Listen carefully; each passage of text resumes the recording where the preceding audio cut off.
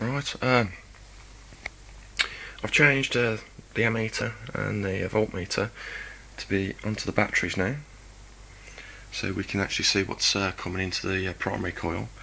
Now, well, I'm going to do another video after this which uh, is going to uh, show how much voltage and current is coming out of the secondary coil but to start with let's try the, the primary coil now.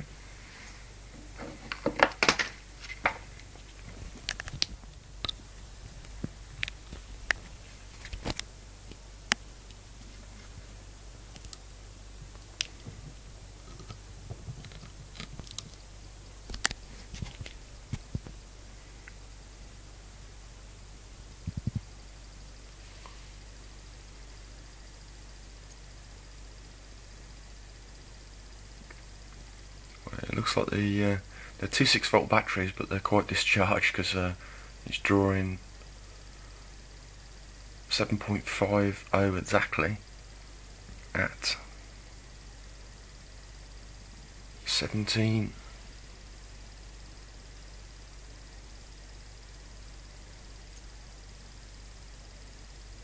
Seventeen point one ish.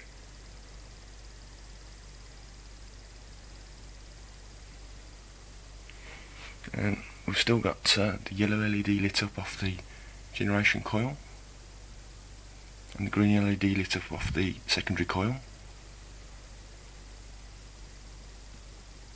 So what I'm going to do now is um, hook up uh, the ammeter and the voltmeter to the secondary to find out what we're getting out of it.